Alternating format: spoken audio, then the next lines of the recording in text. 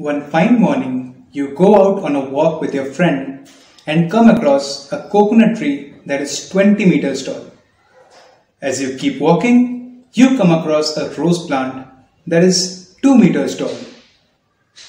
You love comparing numbers and instantly tell your friend that do you know the coconut tree is 18 meters taller than the rose plant? Your friend tells, yes, you are right, but do you know that the coconut tree is also 10 times taller than the rose plant? This makes you think that if you place 10 rose plants one on the top of another, you will reach the height of the coconut tree. So isn't this a better way of comparing their heights? Well, this is what ratio is about. In ratios, we compare two quantities by thinking how much of one quantity is a different quantity. A new way of comparing and thinking will be born and you are going to love it.